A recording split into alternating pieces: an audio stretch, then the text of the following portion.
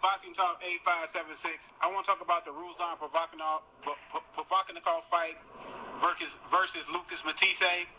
Um, this is going to be a really, really good action fight for as long as it lasts. I don't really see this fight going a distance. I don't. Both of these guys are come forward fighters. They don't like to give up ground.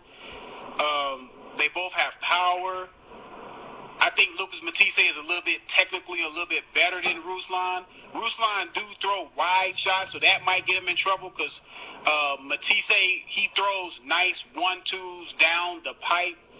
Go look at the uh, Lamont Peterson fight when he uh, cleaned his clock in like two three rounds.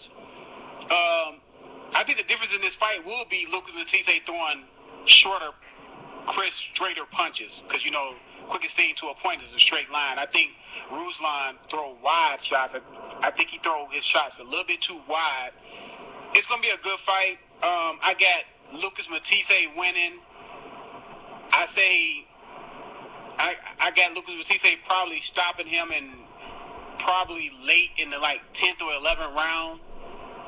I just think it's gonna be a pretty good come forward action probably a Gatti Ward type fight. But it's it's it's kind of interesting because sometimes when you have fighters that both like to come forward and are punchers, sometimes one of the guys will come out and try to beat a boxer. So because if you go back and look at uh,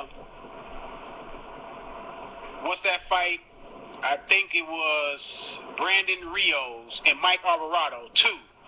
And Mike Alvarado came out as the boxer in, in, in the second fight. The first fight, he they both came forward trying to show their they machismo, and um, uh, Rios got the better of uh, Mike Alvarado. Then Mike Alvarado came out came in the second fight and, and boxed Brandon Rios more. Kind of, he fought him when he needed to fight him, but he boxed him more and he won the second fight.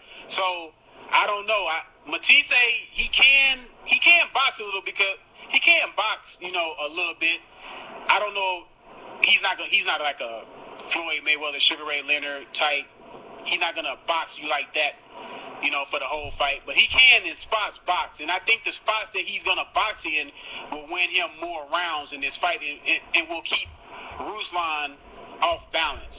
But he has to be careful and try not to overthink it and come out and think he gonna just you know, just beat a boxer and don't have to keep Ruslan up off him because Ruslan will never stop coming. He's going to keep coming. So it's going to be a really good fight. It's, it's, it's really a pick 'em fight. But I like Matthysse for the things I said. I think Matthysse throws stro- straighter punches. I think Matthysse can box in, in spots, and I think that will win him the fight. I got Matthysse by a 10th, 11th round TKO or, or stoppage.